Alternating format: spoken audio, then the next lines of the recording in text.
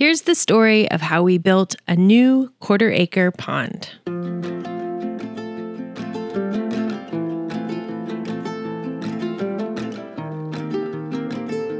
We are city kids without a lick of experience, but somehow we've carved a life on these seven acres, learning everything farming for the very first time. Can I just be put on record saying that there is a lot of hard in homesteading? The seasons can be brutal, and animals are never textbook. And when learning it all at once, this homestead life can feel very reactive. Sometimes you just need a little beauty. And that's what this homestead project is all about simple beauty. I promised not to leave you hanging on the last video, so here is a look at our work in progress pond. When I left town for a family trip, Bo stayed behind to mind the farm, and I told him to take it easy, to sleep, and to call a pond guy. We arrived home a week later, and the very next day, Anthony was there with his crew to build us a new pond.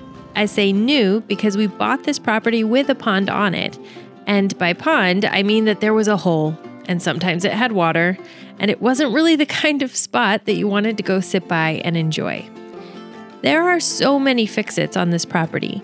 No one had ever lived on it, or built on it, or improved upon it before it became ours. Until now, each project has had a single effort and end in mind. Any improvement made on the property needs to increase the value of it, and it needs to improve the quality of the land itself. On rural land, a pond will always, always bring a return on the investment. Digging a new one was a no brainer, and after some of the setbacks from the fall, we really needed a win. Here is what it looked like to move this project forward. First, we drained the glorified hole in the ground and found some interesting wildlife. You don't need to wait. Try to flip it over again. Don't worry, no turtles were harmed in the making of this film or pond. The biggest decision to make during this project was a heartache because there were so many trees that we had to clear in order to build a healthy pond. Cutting back these trees hurt. So I remind myself that sometimes we take a step back to take three steps forward. Clearing feels a lot like we're losing habitats, but the ecosystem this pond will bring is going to encourage so much more wildlife to our area. And then came the digging, and more digging, and more digging. It looked like a meteorite had come blazing from the sky, skidded on the back pasture until it came to a screeching halt, there is a whole math and science component to engineering a healthy pond that we were sorely missing with the original one, and we wanted to get it right. Our contractor said the good news is that we have some really dense clay dirt, perfect for ponds. It's also coincidentally the bad news because digging in clay required some serious effort, dragging these claws at every pass of the dozer just to make a dent. Who doesn't enjoy a good time lapse just to chill out and zone? Enjoy this one.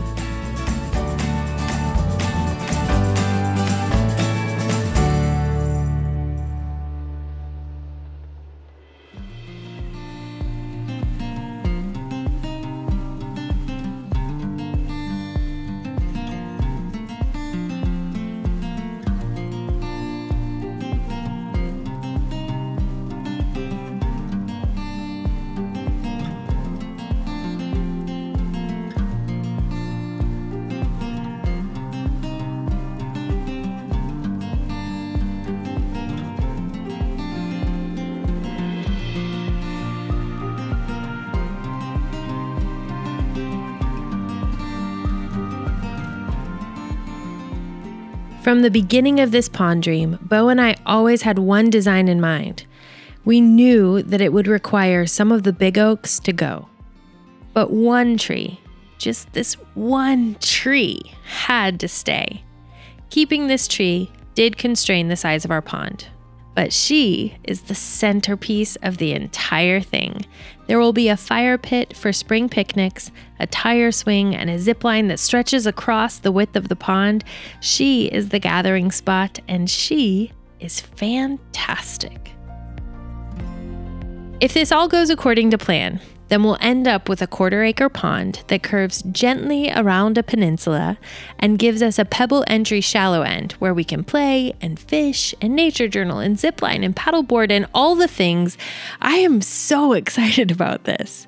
There's this mindset shift when you're a first generation homesteader. City life has a lot of built in obligations and pressures, and sometimes you just have to get away to reset. And so the vacation was born. We love a good vacation still, but we're also hoping to build a life that we don't need a vacation from. This space on our property has the financial benefit, yes, but it's primarily a place we can just enjoy. Across this seven acres, everything has a function, and this function is beauty. This is the lowest point on our property, and in this case, we had a problem that became the solution. Mountains of material were left over from the pond dig, and that became the earthworks to slow down erosion as the water runoff made its way from the high points of the property down to the pond. Bo got on the tractor and moved mounds of dirt around to make this possible. Day six was glorious. The dam wall was finally complete, and the last step was to return the topsoil. Although disturbed, the topsoil was like icing on the cake and ready for new grass seed to help it restore. There is a point in every project where you fear things have gone terribly wrong. After the crew left, we didn't have a pond. We had a mud pit. So in went the ryegrass on the dam wall. This will help keep the topsoil where it is and even help us put in perennial grass when the spring hits.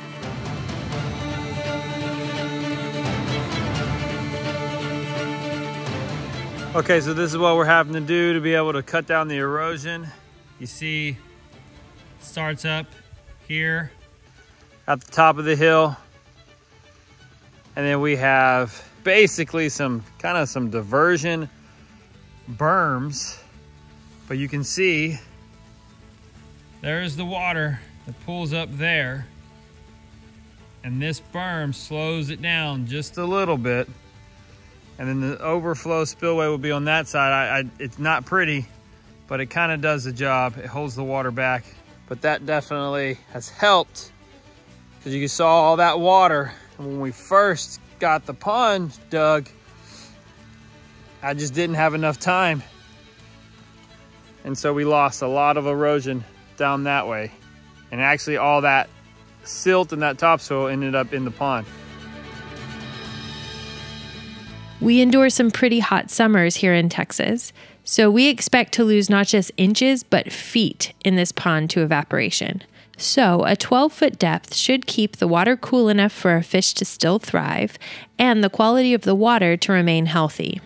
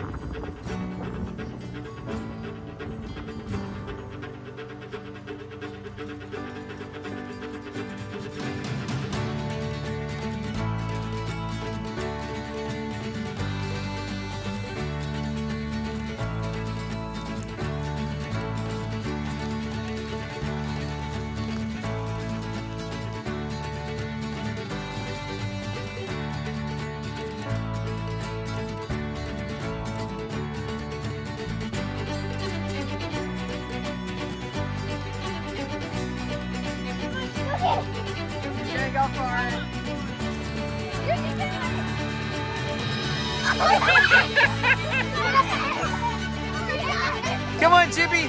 Come on, big boy. I know I got it. Come on. Oh, it's going to get so wet. Oh! Get up to the top.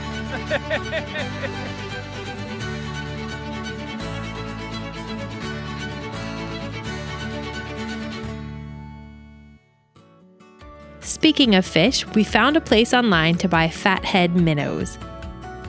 These will be bait fish for our bluegill and our bass to feed on. We shouldn't need to ever buy more. This is 2,000 fathead minnows right here, and we named every one of them.